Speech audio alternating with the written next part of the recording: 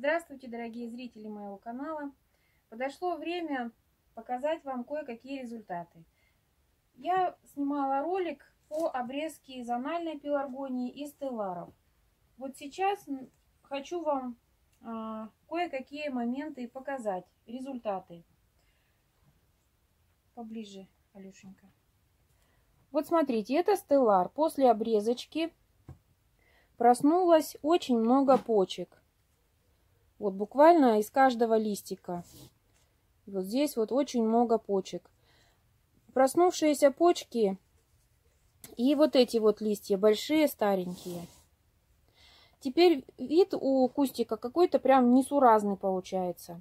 Что мы делаем? Мы можем вот эти старые листики, вот эти взрослые листики, просто убрать. Они легко убираются без повреждения почки. Где-то где-то прям вообще легко. Где-то чуть-чуть нужно будет защипнуть его. Ну и вот таким образом открывается свет для молодой обрастающей поросли. Вот сейчас еще пара листиков. И вот так вот уже более более-менее вид у кустика. Что дает нам эта операция, кроме того, что очень много листвы мы убрали? Во-первых, мы убрали листики, которые старенькие. Вот у них есть некоторая деформация пластинок. Они какие-то немножко были как бы какие-то морщинистые. Чем это вызвано? Вот сейчас в интернете очень много разговоров по поводу вируса, не вируса, и в общем, ну, сплошная истерика. Хочу сказать, что вот такая деформация у пеларгонии, это никак не связано ни с вирусом, ни с чем-то каким-то другим заболеванием. Это наши огрехи в агротехнике. Вот эти пеларгонии, как вы знаете, они у меня зимовали в теплице. И иногда у нас доходил мороз до минус 50, ну уж минус 40 было частенько. В это время ночные температуры были, самая низкая температура, это была плюс 4 всего. А, при том, что горшки ведь были сырые, то есть переохлаждение происходило. Кроме этого, дневная температура могла подняться до плюс 20-25, потому что были солнечные хорошие дни. А теплицу открыть для проветривания было невозможно, потому что на улице все-таки днем минус 20-25, а в теплице плюс 20-25. То есть это тоже дисбаланс огромный и нельзя было проветрить. Вот это все и сказывалось на образовании вот таких вот деформированных листочков. Поэтому, если мы их вот сейчас удалили после обрезки, растение нам скажет только спасибо. Сейчас будет развиваться красивая, ровная, э, какая необходима листва. Очень хорошо еще видно вот на таком экземпляре. Это пестролистный экземпляр, миссис Полок. Точно так же здесь вот какие-то пятнышки, листики имеют. Вот так, неправильная окраска, это зимняя окраска, она слабо выражена, пятнистость красивая, вот как здесь. Даже вот какие-то розовые пятна проскальзывают, желтая, яркая, салатовая такая красочка. И для того, чтобы кустик был более красивый, вот эти старенькие все листики можно убрать. Вот. И теперь уже у нас вид более-менее приличный. То есть сейчас уже можно будет выбрать из вот этих образующихся побегов. Это следующий вопрос, к которому плавно переходим. Раз побегов образуется очень много, все подряд их оставлять тоже не стоит. Можно вот из этого кустика я бы сделала еще раз обрезку вторично. То есть теперь я вижу, что у нас пробудилось. Вот эта почка. Вот этот вот кусочек, он уже старый. И он как бы мне не очень нравится, потому что это старая, уже почти древесневшая полностью ткань, и она немножко как бы портит вообще впечатление. Я тогда вижу, что вот здесь пробудился хороший такой крепенький побег молодой, поэтому вот эту всю часть я вырежу. Вот так. Здесь тоже такая длинная палочка обросшая, тоже не очень хорошо. Поэтому ее я укорочу Вот так. Вот так. Здесь две почки, расположенные в разные стороны. Это сюда, это сюда. И здесь я вот так еще раз обрежу. Вот таким образом еще раз переформировка происходит. Вот эта э, переформировка, вторая уже обрезка, может нам простимулировать э, пробуждение еще где-то вот из этой области каких-то почек. Потому что здесь открылась для хорошего освещения вот эта сторона растения. И здесь вполне возможно через какое-то время, дней через 10, через пару недель, может пробудиться несколько почек. То есть даже кустик стал еще более-менее прилично смотреться. Вот это мы все старенькое убрали. Ну вот здесь примерно то же самое. То есть все, все точно так же. Старые листики убираем. А открывается а, свет для молодых побегов, и они будут лучше а, развиваться и давать нам хорошие, красивые листики уже после хорошего освещения. Они будут ярко выраженная зона, ну и кустик будет, соответственно, будет очень красивенький. Так, вот следующий вопрос, опять же, касаемый по нормированию. Вот смотрите, пробудилось очень много почек в центре кустика. Смотрите. Теперь нам нужно сделать выбор. Либо мы оставляем вот эти побеги, такие на более э, старых веточках, вот этот вот, видите, либо мы из основания кустика, там где самые нижние почки пробудились, выращиваем с, новые молодые побеги. Вот здесь э, выбор за вами, дорогие зрители, потому что а, однозначно сказать, вот делайте только так, а не иначе, я точно не могу, потому что у меня предпочтения, допустим, какие-то свои, у вас свои, смотря для чего кто что делает. Но в данном случае я сделаю вот так. Буду рассказывать почему. Вот этот побег, в нем маленькие, совсем молоденькие почечки. Вот такие. Но мне сам побег этот не нравится. Я его убираю совсем до основания. Он не нравился мне потому, что в нем почки слабее. Обрезка была в одно время, а почки проснулись гораздо позже. Значит, где-то вот в этом побеге какие-то проблемы, может быть, сосудистой системы, потому что почки проснулись гораздо позже. Вот из-за этого я его убрала. Теперь вот на этом побеге есть сильный, а, сильно развитый вот такой хороший росточек, а вот здесь вот тоже мне эта часть не нравится, я его уберу открывается больше света для серединки. Теперь вот здесь. Так, вот на этом побеге. Ну, поскольку я хочу из центра получить более молодые вообще все ветки, поэтому вот эта часть старая, видите, они на старых пенечках уже. И я ее постараюсь вот вырезать максимально низко. Она уже такая прям как дерево. Максимально низко убираю вот эти ветки. Листик расправим. И открывается а, больше света для вот этих молодых росточков. Вот здесь листик остался один деформированный. Мне он не нравится. Кроме того, он там на таком побеге с слаборазвитыми почками. Тоже его уберу. Вот эти старенькие листики вырежу. Вот так вот. Ну, в итоге опять кустик стал лысым, скажут некоторые. Ну, таким образом я даю свет для более молодых веточек, и они нам дадут а, лучшее развитие куста. Кустики, пусть будет веток не так много, но зато на них будут хорошие а, бутоны, хорошие цветы. Вот что касается нормирования. Так, это мы убрали. Дальше был вопрос по разыбудным пеларгониям. Как можно ли их обрезать, как их формировать? Я вам рассказывала, что один экземпляр розыбудной пеларгонии сорта Apple Blossom розыбуд я обрезала для формирования более пышного куста. И вот с ним происходит вот что. Давай поближе раз покажем. Часть вет, э, листиков стала желтеть вот такими пятнами. Это опять же не говорит о том, что это заболевание. Это говорит о том, что кустик стоял вот так. Вот это северная была сторона, вот это южная сторона. Здесь было более хорошее освещение, А здесь освещения было мало, это было север. Поэтому было затенение.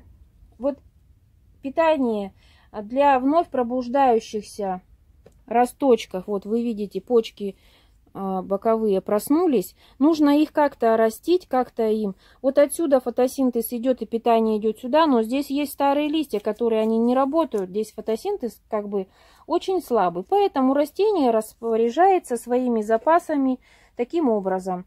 Оно просто перегоняет часть питания вот из этих листиков, перегоняет в молодые пробуждающиеся почки. Вот. Поэтому это не значит, что там чего-то не хватает, там какие-то питания или чего-то.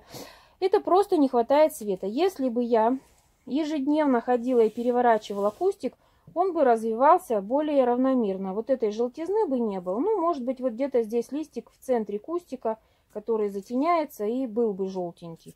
Теперь что делать? Да мы просто оборвем вот эти листики, ничего страшного. Теперь, когда я выставлю вот этот кустик на место, я его переверну вот этой стороной.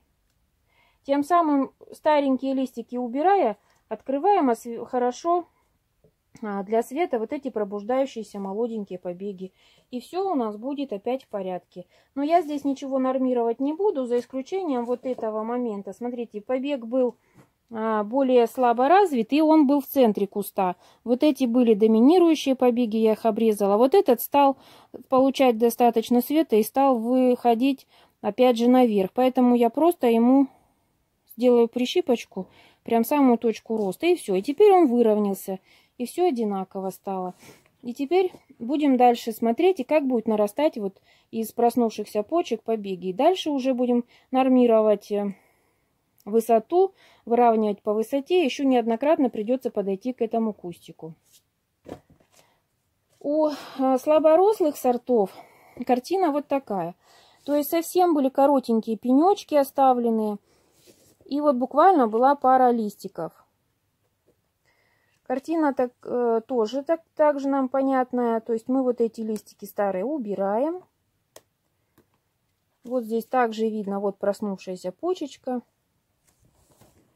Вот, теперь, когда ей большой листик мы убрали, она будет более интенсивно развиваться, потому что питаться нужно, фотосинтез нужно производить, и эти листья будут побыстрее нарастать. Вот, были пенечки, теперь эти пенечки стали обрастать. Два листика было, ну теперь вырастет раз, два, три, четыре, пять веточек, даже шесть. Ну, там еще в центре 7. 7 веточек даже вырастет.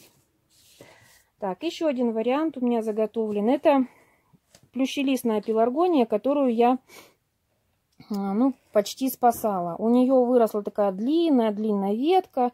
Вообще такая одинокая. Это сорт называется Пак Томми. Я обрезала тоже очень коротко, буквально вот совсем махонький пенечек оставила и оставляла листья вот какие они есть. Ничего не убирала, вот даже вот такой листик, он был немножко еще зелененький. Теперь этот листик отработал свое, отдал все, вот здесь пробуждается почка. Вот смотри, вот здесь вот фокусируем. Вот она даже почечка, видно ясно. Теперь мы с чистой совестью можем просто аккуратненько убрать листик легко. Вот эти листики еще поработают. Когда эти почки достигнут уже, ну, порядка полсантиметра, там до сантиметра, развернут первый хорошенький листочек, можно будет и эти листики убрать. Вот теперь, когда э, вот так мало листвы, с поливом э, тоже нужно быть очень аккуратным. Почему здесь одна была такая веточка? Потому что горшочек был немного подзалитый.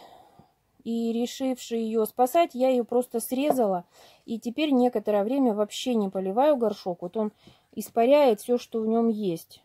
Он еще, поскольку он не, не решил помирать, он решил жить, значит, корневая система там активно нарастает, восстанавливается, а, листики работают, фотосинтез идет, и все будет хорошо. Вот эти почечки нам дадут новые кустики. Потом мы их прищепнем, сформируем, будет все хорошо. Так, дальше, когда же нам ждать цветения после такой кардинальной обрезки? Цветение нам ждать недолго, вот опять же слаборослый такой сортик. тоже была произведена обрезка. Все это я вам показывала уже. Вот. Но образовались побеги. Есть сорта, которые очень быстро начинают цвести. Видите, уже есть два шикарных цветоноса. Причем даже такое количество листиков э, закладывается очень хороший зонтик, очень хорошее полное соцветие, которое даст хорошую шапочку. Одновременно все будет происходить. И на, расцветать шапочка, и нарастать листики. Но, вот, к сожалению, вот с этого сортика мы уже черенков не возьмем, потому что ну что здесь брать? Тут всего два. Даже их как-то вот помельчить и то невозможно. Это сорт у меня безымяшка 3Z. Дает такую рыжую шапку. Очень красивый сортик. К сожалению, его названия настоящего нет. Но это вот что-то из э, таких низкорослых, таких карликовых сортов. Пышных, кустистых. Ну, ничего больше отсюда не срезать. И вот то есть это все еще зависит от сорта, как а, быстро начнет зацветать сорт.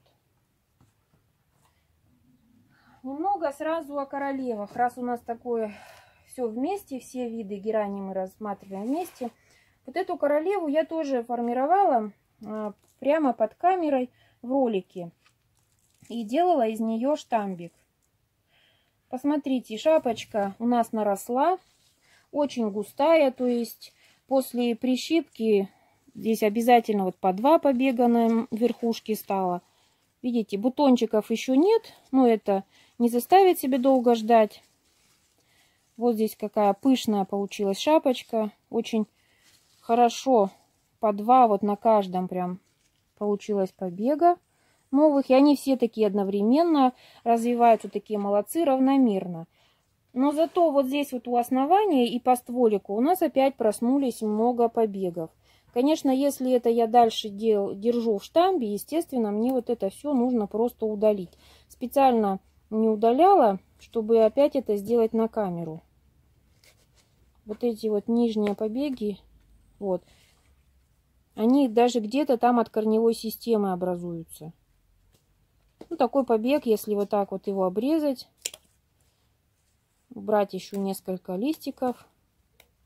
Вполне можно использовать на черенок. Вот эти короткие мне черенки уже не нужны, я их просто убираю. Причем все побеги нормально развитые, никакие там не галловые, ничего. Все, вот так вот почистили стволик. И опять у нас все красиво. Теперь можно посмотреть наверх, вот, вот так сверху. Видите, вот эти листики, они как бы немножко выбиваются из общей картины. Вот. Теперь посмотрим, откуда они. Вот выбивающийся листик, вот. В его пазухе проснулся побег. То есть мы смело можем листик убрать. Вот у этого листика точно так же. Вот этот листик выбивается. Здесь тоже проснулась почка. Это листики зимние, они с более длинными черешками. И поэтому, чтобы была красивая крона, равномерная, вот эти листья, которые нам не нравятся, мы просто общипнем. И все. Немножечко причесали. Тем самым крона маленько осветлилась. Будет больше доступа для вот этих вот проснувшихся молодых побегов. И все у нас восстановится. И будет такое же красивенькое, кругленькое. В центре обязательно точно так же вот эти выбивающиеся листики, их просто видно. Вот и все. Такая у нас прическа получилась красивенькая штамбик, штамбовое деревце. Вот этот листик тоже мне не нравится. Вот так вот. Все, вот теперь все более-менее равномерно. Вот. Намусорили гору, гору листвы буквально сделали. Теперь переходим к черенкам. Был вопрос по поводу э, черенков, как вы их там поливаете. И вот что хочу сказать. Однопочковые черенки, как они себя ведут. Есть э, черенки однопочковые, они немножко упрямые. Посмотрите, какая корневая система. Вот это уже перевалочка была в 200-граммовый стаканчик. Корневая система очень хорошая. Листик рабочий. Ну, немножечко он показывает, что там питание какого-то ему, ну, скорее всего, микроэлементов не хватает.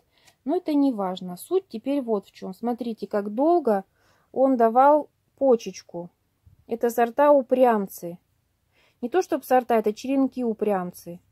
Вот такую дал сначала корневую систему, не было вообще почки. Вот это явление я вам еще раз покажу. Вот акас фармур.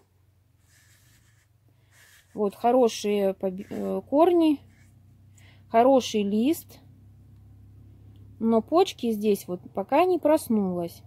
То есть я этот сорт никуда не дену, я его не выброшу, он будет стоять и он про, потом все равно проснется, вот так почечка все равно проснется, потому что этот лист рабочий, он абсолютно ничем не поврежденный, не, он весь зеленый, без всяких пятен, без всяких повреждений.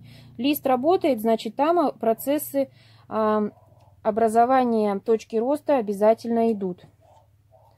Вот еще один. Точно такой же вариант. Вот такая хорошая, активная, жирная корневая система. Вот белые шикарные корни.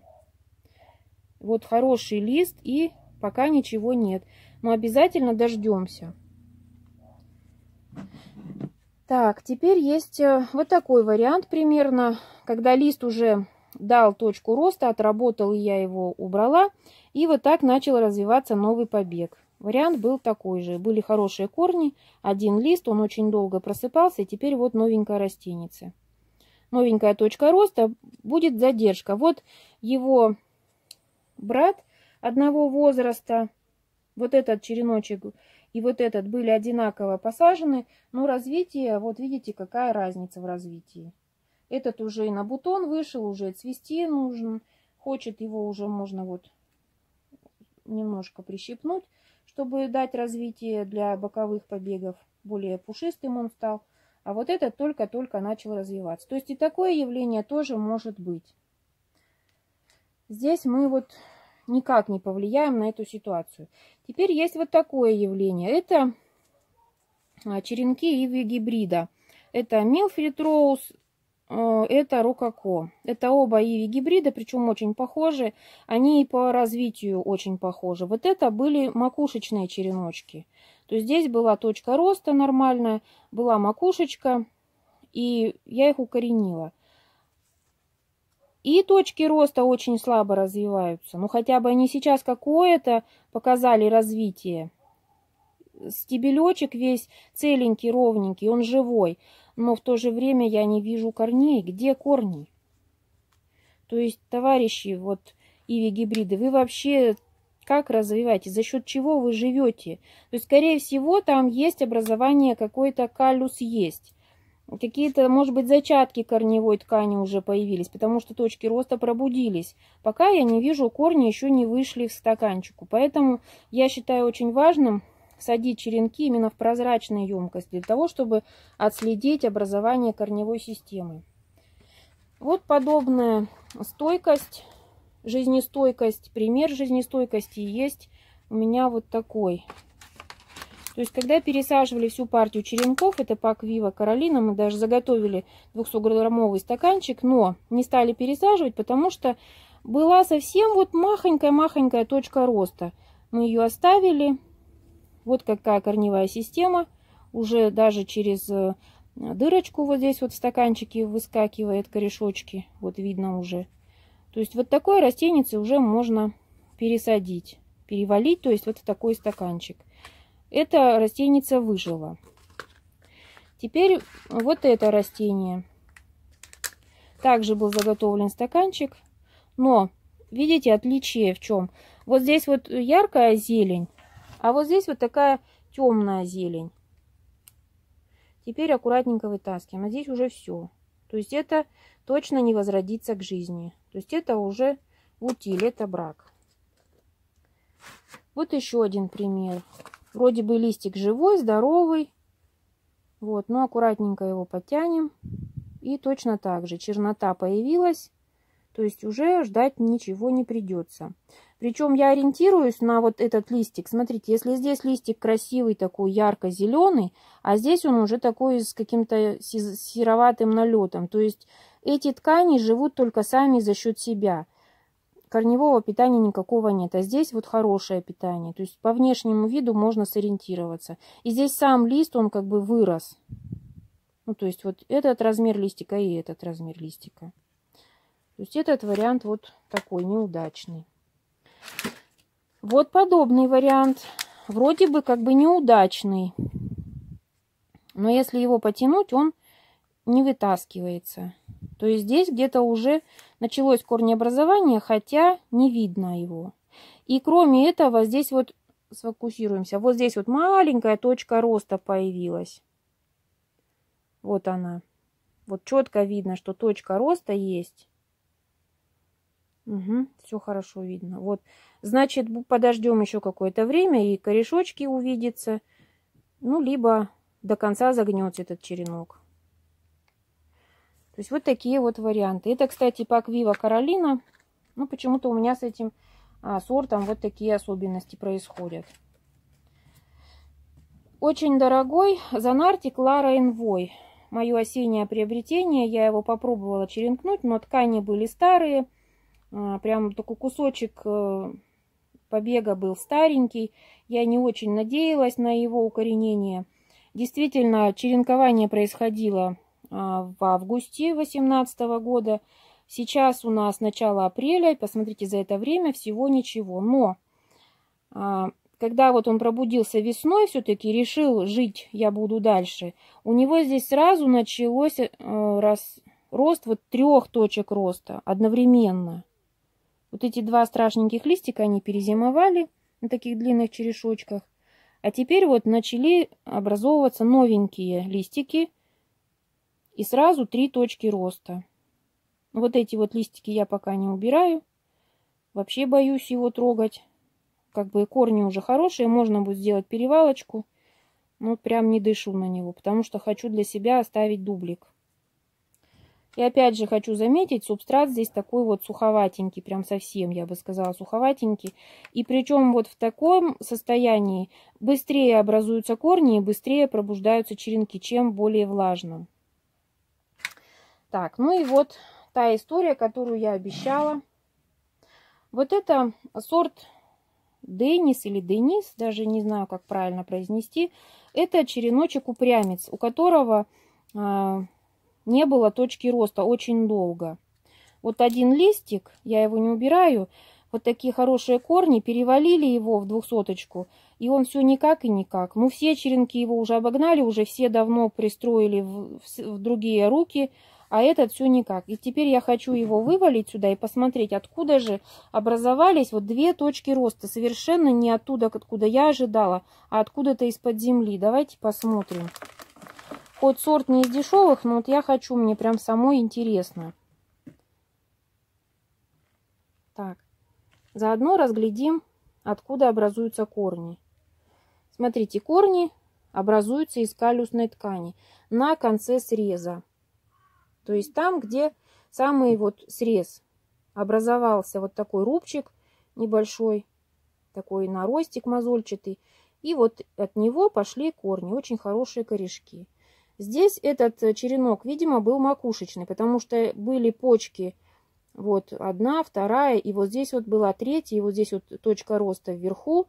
Видимо, вот эта точка роста погибла, подсохла. Вот здесь вот не пробудилась, а пробудились наоборот снизу. Я думаю, это по причине, что они были заглубленные, там все-таки влажность была более-менее хорошая, поскольку корневая это хорошая наросла, и пробудились. Вот тоже есть, даже вот так бывает. Ну вот это я вам показываю на руке. Это Нисколько я не, ну, не преувеличиваю, не придумываю, откуда образуются корни. То есть, как образуются корни у пеларгонии. Потому что есть ошибочное мнение, что вот здесь вот по стволику или либо вот в узлах вот отсюда образуются корни. Видите, это не так. Образуются корни именно вместе среза, для чего я и, и объясняла, что нам нужно подсушить этот срез, для того, чтобы все поврежденные клетки и клеточный сок из них подсох, и затянулась небольшой такой как бы пленочкой, под которой сохранятся все хорошие клетки, неповрежденные, которые начнут впоследствии активно делиться, давать вот этот нам нарост мозольчик, и из этого нароста, из этой раневой ткани, как говорится, будут уже а, образовываться, дифференцироваться настоящие корневые ткани, образовываться клетки корневого чехлика, клетки корневых волосочков и сосудистая система корней. То есть вот то, что я как раз держу вот в руке. Вот это настоящая корневая ткань. Вот. Теперь есть у меня еще один вариант заготовочка. А череночки бывает, что мы, не глядя, быстренько пробегаемся и поливаем. И вот что у нас случилось. Это унгарикс кразебут.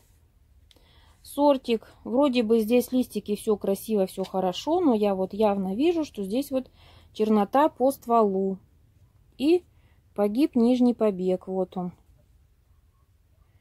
То есть э, нужно быть еще, э, обращаю ваше внимание, нужно быть внимательным при поливе. А пеларгонии не любят переувлажнение. Тогда они погибают. Тоже вот сейчас его выпотрошу, покажу.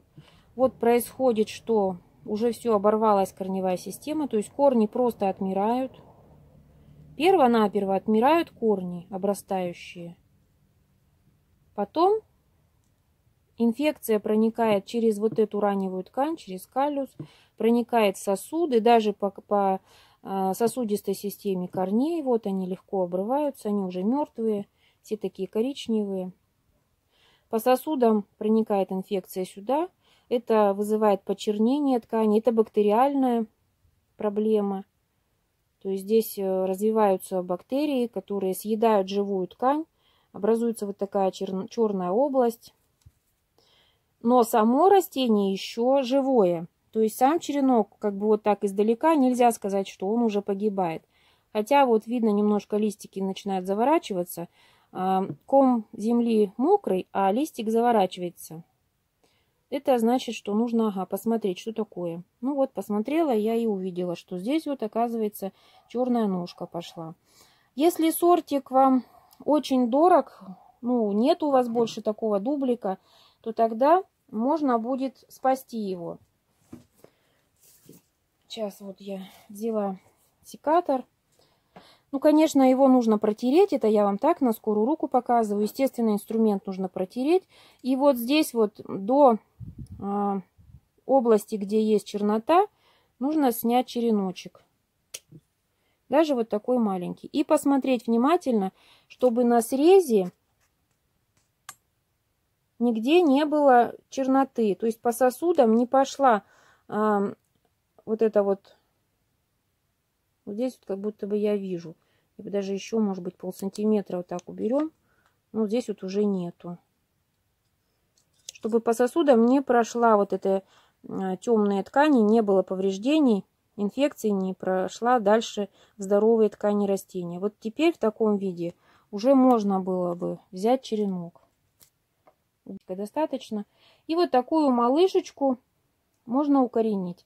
Как укоренять, я показывала. Давайте перейдем дальше к черенкам. Теперь вот к черенкам, к их состоянию. Посмотрите, вот это общий вид. Я такие самые страшненькие ящички вытащила. Такие листья пожухлые, как бы казалось, тут вообще дело плохо. Однако не все так как, как кажется. Обратите внимание, листики свое отработали. Вот они легко удаляются. Но проснулись почки роста. Точки роста. Сами череночки хорошие, зеленые, крепенькие. Вот здесь то же самое. Это однопочковые черенки. Вот с коротенькие совсем, с одним междоузлием. Вот эта точка роста, вот эта почечка, а, пазушная, она и дала нам новый побег. Хотя этот листик, он тоже отрабатывает свое. Он выдает, для того, чтобы здесь развивалось, он выдает все питание, отдает и отдает, нарастает. Вот это верхушечный черешок. Тоже листик уже свое отработал, он легко отделяется. Это хороший признак. Хотя корней вот здесь вот мы не видим, потому что корешки будут образовываться чуть позже. Сначала фотосинтез. Вот в таком состоянии мои черенки. Хочу сказать еще по влажности. Влажность такая очень, очень слабая. Ну, есть немножко влажнее, потому что я какие-то подливала пораньше. Вот этот сейчас я немножечко подолью. Приходится в ручном режиме просматривать все корзинки и подливать, где совсем уже сухо. Для того, чтобы целиком все нельзя полить, потому что можно что-то перелить, что-то не долить. Поэтому приходится в ручном режиме все поливать. Вот здесь тоже, видите, две два листика. Верхняя почка уже проснулась. Листики свои отработали, но этот еще держится. То есть убрать мы его никак не можем. И не будем пока, потому что вдруг мы нарушим там уже нарастающие молоденькие корешки. Вот так. То есть это совершенно не фантастика получить из однопочковых череночков нормальные хорошие растеница. Ну, на этом я хочу завершить. На красивом цветке завершить свой ролик. Я очень рада буду вашим вопросам. Если что-то непонятно, пожалуйста, спрашивайте, будем обсуждать, будем еще снимать. Всего доброго, до свидания.